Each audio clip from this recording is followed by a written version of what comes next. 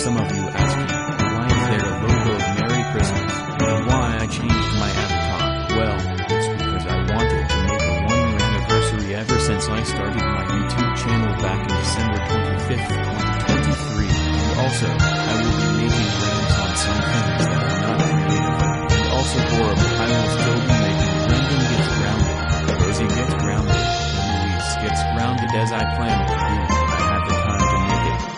also still be making reaction videos as I planned to do. Anyways, this is me, signing off, and have a good Christmas.